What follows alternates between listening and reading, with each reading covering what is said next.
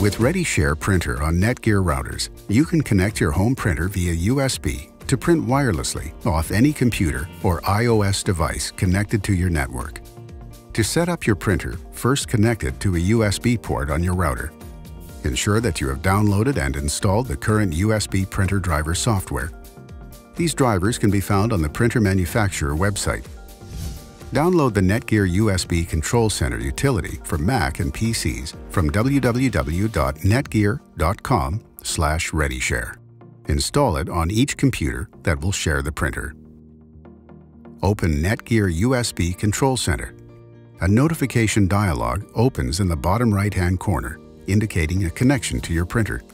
Select your printer located under your router model and click Connect to Scan slash fax function. The printer is now connected manually to this computer.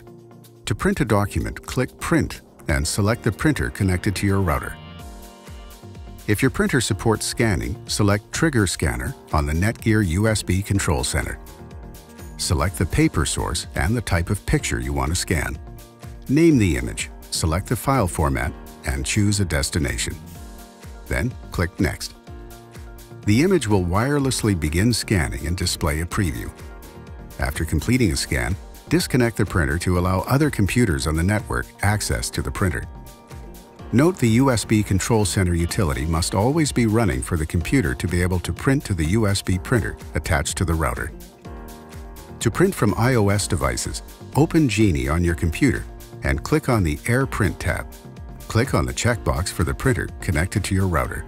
On your iOS device, click on Print and select the printer. Your documents can now be wirelessly printed from your iOS devices using AirPrint. For more information on ReadyShare Printer, visit netgear.com or click the link in the video description below.